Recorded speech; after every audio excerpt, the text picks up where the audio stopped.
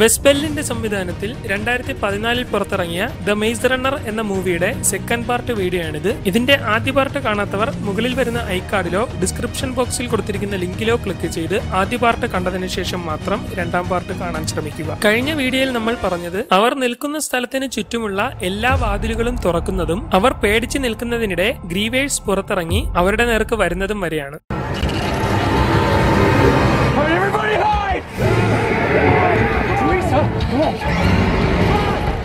ഇതോടെ അവർ ജീവനും കൊണ്ട് ഓടുകയും തോമസും കൂട്ടരും അവിടെയുള്ള ചെടികളുടെ ഇടയിലേക്ക് ഓടിക്കയറി ഒളിച്ചിരിക്കുകയും ചെയ്യുന്നു. പുറത്തുള്ള പലരെയും ഗ്രീവേഴ്സ് പിടികൂടുന്നതൊക്കെ അവർക്ക് കേൾക്കാൻ കഴിയുന്നുണ്ട്. പെട്ടെന്ന് അവരുടെ തൊട്ടടുത്തിരുന്ന ഒരുത്തനെ ഗ്രീവേഴ്സ് പിടികൂടുകയും ഇതോടെ അവർ അവിടെ നിന്ന് ഓടി രക്ഷപ്പെടാൻ ശ്രമിക്കുകയും ചെയ്യും ഇതിനിടെ ഗാലിയും കൂട്ടരും ലിഫ്റ്റിന്റെ ഉള്ളിലേക്ക് കടക്കുകയും അവിടെ ഒളിച്ചിരിക്കുകയും ചെയ്യും ഇതിനിടെ തോമസും കൂട്ടരും ആൽബിയുടെ അടുത്ത് എത്തിയിരിക്കുകയാണ്. എന്നാൽ ഗ്രീവേഴ്സ് അവരുടെ തൊട്ടടുത്ത് വന്ന് പലരെയും ആക്രമിച്ചുകൊണ്ടിരിക്കുന്നു. അവർ അവിടെ നിന്ന് ഓടി രക്ഷപ്പെടാൻ ശ്രമിക്കുന്നുണ്ടെങ്കിലും ആ ജീവികൾ അവരെ വിടുന്നില്ല. ഇതിനിടെ ട്രേസി അവിടെ ഇരുന്ന വിളക്കെടുത്ത് അതിന്റെ നേർക്ക് എറിയുകയും അതിന്റെ ശ്രദ്ധ തിരിയുന്ന സമയം കൊണ്ട് അവിടെ നിന്ന് അവർ ഓടി രക്ഷപ്പെടുകയും ചെയ്യുന്നു. എന്നാൽ അത് അവർ ഓടുന്നതിന്റെ പിറകെ വന്നുകൊണ്ടിരിക്കുകയാണ്. ഓടി ഓടി ആൽബി വീണു പോവുകയും അത് തൊട്ടടുത്തെത്തുകയും ചെയ്യുന്നു. ഇതോടെ തോമസ് ഫൈറ്റ് ചെയ്യാൻ തയ്യാറായി നിൽക്കുമെങ്കിലും ന്യൂവെറ്റും കൂട്ടരും അതിനെ കുന്തമെറിഞ്ഞ് ആക്രമിക്കുകയും ശേഷം അവരെല്ലാവരും ഓടി അവിടുത്തെ തടി കൊണ്ടുള്ള വീടിനുള്ളിൽ കയറി ഒളിക്കുകയും ചെയ്യുന്നു. അങ്ങനെ വാതിലൊക്കെ ലോക്ക് ചെയ്ത് അവരെല്ലാവരും ഉള്ളിൽ നിൽക്കുകയാണ്. ഗ്രീവേഴ്സ് ആ വാതിൽ തകർക്കാൻ ശ്രമിച്ചുകൊണ്ടിരിക്കുന്നു. എന്നാൽ കുറച്ചു കഴിയുമ്പോൾ അതിന്റെ അനക്കമൊന്നും കേൾക്കാൻ കഴിയുന്നില്ല. എല്ലാവരും എന്ത് സംഭവിക്കുകയാണെന്ന് അറിയാതെ നിൽക്കുന്നതിനിടെ അത് മുകൾ ഭാഗം പൊളിച്ചു വരികയും ചെക്കിനെ പിടികൂടുകയും ചെയ്യുന്നു. എന്നാൽ അവരെല്ലാവരും അവനെ പിടിക്കുകയും അതിന്റെ കയ്യിൽ നിന്ന് രക്ഷപ്പെടുത്താൻ ശ്രമിക്കുകയും ചെയ്തുകൊണ്ടിരിക്കുകയാണ്. ഉടൻ അത് ചക്കിനെ കുത്താൻ ശ്രമിക്കുകയും ഇത് കാണുന്ന ആൽബി കയ്യിൽ കിട്ടിയ സാധനം ഉപയോഗിച്ച് അതിനെ ആഞ്ഞുവെട്ടി കുത്തുന്ന മെഷീൻ താഴെ വീഴുകയും അല്പസമയത്തിനുള്ളിൽ അത് പിന്തിരിഞ്ഞു പോവുകയും ചെയ്യുന്നു. ഇതോടെ അവൻ രക്ഷപ്പെട്ട സമാധാനത്തിൽ നിൽക്കുന്നതിനിടെ ഗ്രീവേഴ്സ് പിന്നിലൂടെ വന്ന് ആൽബിയെ ആക്രമിക്കുന്നു. തോമസ് എങ്ങനെയെങ്കിലും രക്ഷപ്പെടുത്താൻ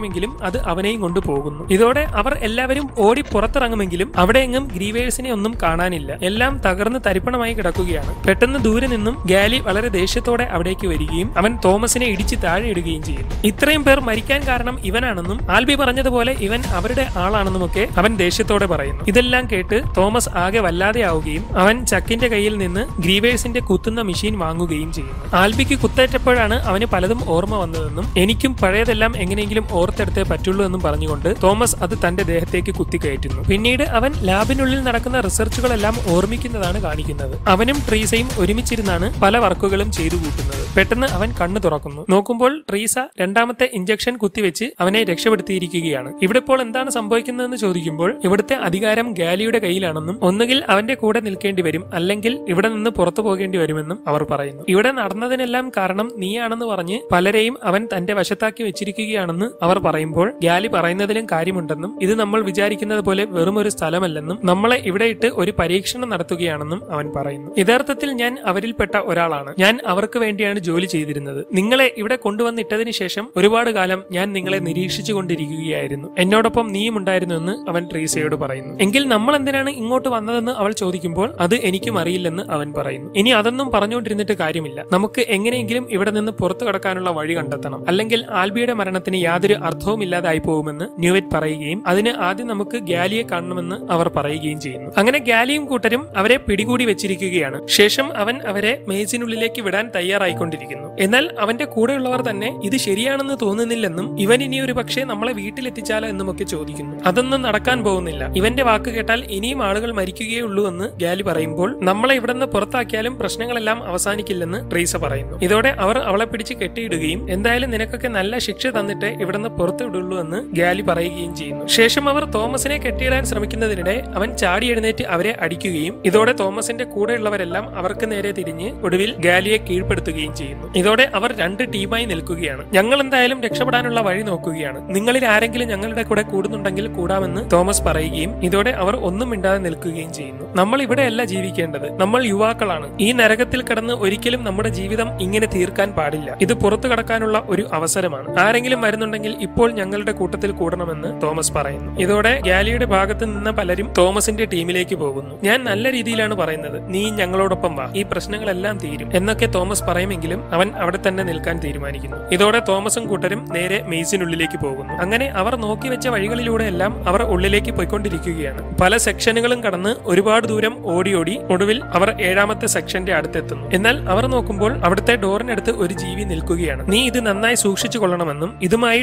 ഡോറിനടുത്ത് എത്തുമ്പോൾ അത് തുറക്കുമെന്നും ഇപ്പോൾ എന്തായാലും നമ്മൾ രണ്ടും കൽപ്പിച്ച് ആ ജീവിയുമായി ഫൈറ്റ് ചെയ്യാൻ പോവുകയാണെന്നും അവൻ കൂടെയുള്ളവരോട് പറയുന്നു. അങ്ങനെ അവരെല്ലാം തയ്യാറായി നിൽക്കുകയാണ്. ശേഷം അവരെല്ലാവരും അലറിക്കൊണ്ട് നേരെ ആ ഗ്രീവേഴ്സിന്റെ നേർക്ക് ചെല്ലുന്നു. അവരെ കാണുന്ന അത് വയലന്റ് ആയി അവരുടെ അടുത്തേക്ക് വന്നുകൊണ്ടിരിക്കുകയാണ്. അങ്ങനെ അവർ തങ്ങളുടെ ആയുധങ്ങൾ ഉപയോഗിച്ച് അതുമായി കട്ടയ്ക്ക് ഫൈറ്റ് ചെയ്തുകൊണ്ട് നിൽക്കുന്നു. ഇതിനിടെ അവരുടെ കൂട്ടത്തിലൊരുത്തനെ അത് ആക്രമിച്ച് കൊലപ്പെടുത്തുന്നു. അങ്ങനെ അവർ പിന്നെയും ഫൈറ്റ് ചെയ്തുകൊണ്ടിരിക്കുകയാണ്. ഇതിനിടെ ചെക്കിന്റെ കയ്യിലിരുന്ന കീ തെറിച്ചു പോവുകയും ഇതോടെ അവൻ അത് എടുക്കാനായി അതിലേക്ക് ചാടി വീഴുകയും ചെയ്യുന്നു. എന്നാൽ താഴെ നിന്ന് വീണ്ടും ഗ്രീവേഴ്സ് അവിടേക്ക് കയറി വരികയാണ്. ഈ സമയം മറ്റുള്ളവരെല്ലാം ആ ജീവിയെ ആക്രമിച്ച് താഴെ ഇട്ട് കൊലപ്പെടുത്തുന്നു. എന്നാൽ അവരുടെ ചുറ്റും നിന്നും വീണ്ടും ഗ്രീവേഴ്സ് അവിടേക്ക് കയറി വരികയാണ്. ഇതോടെ എല്ലാവരും പിന്നെയും അതിനെയൊക്കെ ആക്രമിക്കാൻ ശ്രമിക്കുന്നു. ഈ സമയം കൊണ്ട് ചെക്ക് കീയുമായി ഡോറിന്റെ അടുത്തെത്തുകയും അത് തുറക്കുകയും ചെയ്തിരിക്കുകയാണ്. അങ്ങനെ അവർ ഗുഹയ്ക്കടുത്തേക്ക് പോകുന്നത് കണ്ട് നമുക്കും പോകാമെന്ന് തോമസ് പറയുകയും അവർ പതിയെ പിന്നോട്ട് മാറാൻ തുടങ്ങുകയും ചെയ്യുന്നു. അവർ ഫൈറ്റ് ചെയ്തുകൊണ്ടിരിക്കുന്നതിനിടെ അടുത്തവനെയും ഗ്രീവേഴ്സ് ആക്രമിച്ച് കൊലപ്പെടുത്തുന്നു. ട്രീസയും ചെക്കും ഗുഹയ്ക്കുള്ളിൽ കടന്നെങ്കിലും അവിടെ ഒരു നമ്പർ ലോക്ക് അടിക്കാനാണ് കാണിക്കുന്നത്. ഇതോടെ അവൾ തോമസിനോട് ഇതിന് എട്ടക്ഷരമുള്ള ഒരു കോഡുണ്ടെന്ന് ഉറക്കെ വിളിച്ചു പറയുകയും അത് മിക്കവാറും ഈ സെക്ഷനുകൾ തുറക്കുന്ന രീതി അനുസരിച്ചിട്ടായിരിക്കുമെന്നും ഓരോ ദിവസവും ഇത് എങ്ങനെയാണ് തുറക്കുന്നതെന്നും അവൻ മിംനയോട് ചോദിക്കുന്നു. ഏഴ് ഒന്ന് അഞ്ച് ആറ് നാല് എന്ന ക്രമത്തിലാണെന്ന് അവൻ പറയുകയും ട്രീസ അത് അടിച്ചുകൊണ്ടിരിക്കുകയും ചെയ്യുന്നു. ഇതിനിടെ മുകളിൽ നിന്ന് ഒരു ഗ്രീവർ മിമ്നോയുടെ നേർക്ക് ചാടുകയും അവനെ ആക്രമിക്കാൻ ശ്രമിക്കുകയും ചെയ്തുകൊണ്ടിരിക്കുന്നു. അവൻ മരിക്കുമെന്ന് കാണുന്ന ഒരുവൻ അതിന്റെ തലയിലേക്ക് കമ്പ് കുത്തി കയറ്റുകയും ഇതോടെ മിമ്നോ രക്ഷപ്പെടുകയും ചെയ്യുന്നു. എന്നാൽ അത് അവന്റെ നേർക്ക് തിരിഞ്ഞ് അവനെ ആക്രമിച്ച് കൊലപ്പെടുത്തുന്നു. ഈ സമയം കൊണ്ട് പാറ്റേൺ അടിച്ചു കഴിഞ്ഞിരിക്കുകയാണ്. ഇതോടെ അവർ ഗുഹയ്ക്കുള്ളിൽ കയറുകയും അവിടെയുള്ള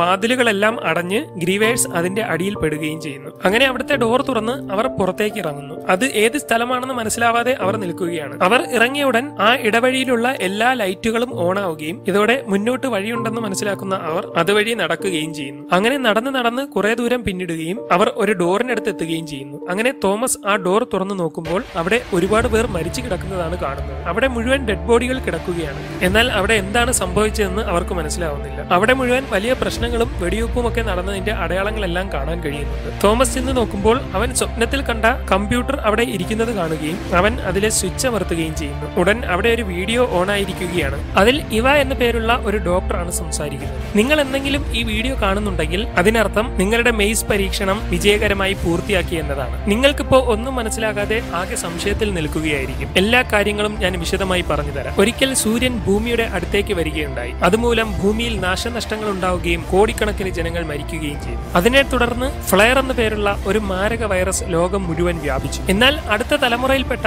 നിങ്ങളിൽ ആർക്കൊക്കെയോ ഈ വൈറസിനെ അതിജീവിക്കാൻ കഴിവുണ്ട്. എന്നാൽ അത് ആർക്കൊക്കെയാണെന്ന് കണ്ടെത്താൻ വേണ്ടിയാണ് നിങ്ങളെ ഇങ്ങനൊരു മെയ്സിനുള്ളിലിട്ട് പരീക്ഷണം നടത്തിയത്. ആ മെയ്സിനുള്ളിൽ വെച്ച് നിങ്ങളുടെ തലച്ചോർ എങ്ങനെയാണ് പ്രതികരിക്കുന്നതെന്നും നിങ്ങളുടെ രീതികൾ എങ്ങനെയാണെന്നും മനസ്സിലാക്കി നിങ്ങൾക്ക് ഈ വൈറസിനെ അതിജീവിക്കാൻ കഴിയുമോ എന്ന് മനസ്സിലാക്കിയ ശേഷം അതിന് പറ്റിയ വാക്സിൻ ഉണ്ടാക്കുക എന്നതായിരുന്നു നമ്മുടെ ലക്ഷ്യം. ഇപ്പോൾ രക്ഷപ്പെട്ടിരിക്കുന്ന നിങ്ങൾ ഓരോരുത്തരും പ്രത്യേകതയുള്ളവരാണ്. പുറം ലോകം നിങ്ങൾക്കായി കാത്തിരിക്കുന്നു. ഇത്രയും പറഞ്ഞുകൊണ്ട് അവർ സ്വയം വെടിവെച്ച് മരിക്കുന്നു. അവർ നോക്കുമ്പോൾ ആ ഡോക്ടർ വീഡിയോ റെക്കോർഡ് ചെയ്ത സ്ഥലത്ത് മരിച്ചു കിടക്കുകയാണ്. ഇതിനിടെ അവിടുത്തെ ഒരു വാതിൽ തുറക്കുന്നു. നമ്മളിനി എന്താണ് ചെയ്യേണ്ടതെന്നൊക്കെ പറഞ്ഞ് അവർ ഒന്നും മനസ്സിലാവാതെ നിൽക്കുന്നതിനിടെ പെട്ടെന്ന് ഗാലി അവിടേക്ക് വരുന്നു. അവൻ കുത്തേറ്റ തരത്തിലാണ് അവിടെയുള്ളത്. നമുക്ക് ഇവിടെ നിന്ന് പോകാൻ കഴിയില്ലെന്ന് അവൻ പറഞ്ഞുകൊണ്ടിരിക്കുന്നു. നമ്മൾ ഇവിടെ നിന്ന് രക്ഷപ്പെടാൻ പോവുകയാണെന്നൊക്കെ തോമസ് പറയുമെങ്കിലും ഇതിനപ്പുറത്ത് പോയി ഒരു രക്ഷപ്പെടൽ ഉണ്ടെന്ന് എനിക്ക് തോന്നുന്നില്ലെന്ന് പറഞ്ഞുകൊണ്ട് അവൻ അവരുടെ നേർക്ക് തോക്ക് ചൂണ്ടുന്നു. ഇതോടെ തോമസ് അവനെ എങ്ങനെയെങ്കിലും പറഞ്ഞ് പിന്തിരിപ്പിക്കാൻ ശ്രമിച്ചുകൊണ്ടിരിക്കുകയാണ്. എന്നാൽ അവൻ ഒന്നും കേൾക്കാതെ വെടിവെക്കാൻ തയ്യാറായി നിൽക്കുന്നു. ഉടൻ അവൻ വെടിവെക്കുകയും മിംനോ കുന്തം അവന്റെ നെഞ്ചത്ത് കുത്തിയിറക്കുകയും ചെയ്യും. ഇതോടെ അവൻ മരിച്ചു വീണിരിക്കുകയാണ്. എന്നാൽ അവർ നോക്കുമ്പോൾ ചെക്കിന് ഗാലിയുടെ വെടിയേറ്റിട്ടുണ്ട്. അവൻ മരണത്തോട് മല്ലിടിച്ചുകൊണ്ടിരിക്കുന്നു. ഇനി എന്നെ നോക്കി നിൽക്കണ്ടെന്ന് പറഞ്ഞുകൊണ്ട്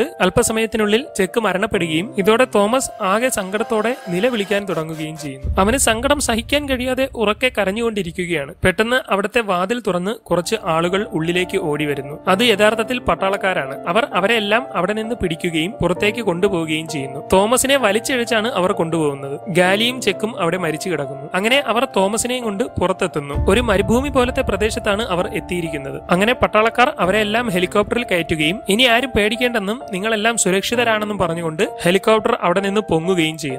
അവിടെ നിന്ന് പോയിക്കൊണ്ടിരിക്കുമ്പോഴാണ് അവരെല്ലാം ആ മെയ്സിന്റെ യഥാർത്ഥ രൂപം കാണുന്നത്. ഇത്രയും കഠിനമായിട്ടുള്ള ഒരു മെയ്സിൽ നിന്നാണ് ഇത്രയും കാലം അവർ രക്ഷപ്പെടാൻ ശ്രമിച്ചുകൊണ്ടിരുന്നത്. പിന്നീട് കാണിക്കുന്നത് ഒരു മീറ്റിംഗ് നടക്കുന്ന ഓഫീസാണ്. അവിടേക്ക് മുമ്പ് വീഡിയോയിൽ കണ്ട ഡോക്ടർ നടന്നു വരുന്നു. നമ്മുടെ മെയ്സ് പരീക്ഷണം വിജയിച്ചിരിക്കുകയാണ്. ആ യുവാക്കളെല്ലാം അവിടെ നിന്ന് രക്ഷപ്പെട്ടിരിക്കുന്നു. ഇതിലും കൂടുതൽ പേർ രക്ഷപ്പെടുമെന്നാണ് ഞാൻ കരുതിയിരുന്നത്. അതിലെ തോമസ് എന്ന പയ്യൻ ഒരുപാട് പ്രത്യേകതകളുള്ളവനാണ്. നമ്മൾ പ്രതീക്ഷിച്ചതിനേക്കാളും നേരത്തെ അവർ മെയ്സ് പരീക്ഷണം പൂർത്തിയാക്കി. അതിനാൽ അവരെ വെച്ചുള്ള നമ്മുടെ രണ്ടാമത്തെ കളി തുടങ്ങാൻ സമയമായെന്ന് അവർ പറയുന്നു. ഇത്രയും പറഞ്ഞുകൊണ്ട് സിനിമ അവസാനിക്കുന്നു. മെയ്സ് റണ്ണർ എന്ന നോവലിനെ ആസ്പദമാക്കിയെടുത്ത ഈ സിനിമ മൂന്ന് ഘട്ടങ്ങളായിട്ടാണ് എടുത്തിരിക്കുന്നത്. ഇതിന്റെ രണ്ടാം ഭാഗമായ മെയ്സ് റണ്ണർ ടു ഇതിലും വളരെ മികച്ച രീതിയിലാണ് നിർമ്മിച്ചിരിക്കുന്നത്. രണ്ടായിരത്തി പതിനാലിൽ മുപ്പത്തിനാല് മില്യൺ ബഡ്ജറ്റിൽ പുറത്തിറങ്ങിയ ആദ്യ ഭാഗമായ ഈ മൂവി മുന്നൂറ്റി നാൽപ്പത്തെട്ട് മില്യൺ ഡോളറാണ് ബോക്സ് ഓഫീസ് കളക്ഷൻ നേടിയത്.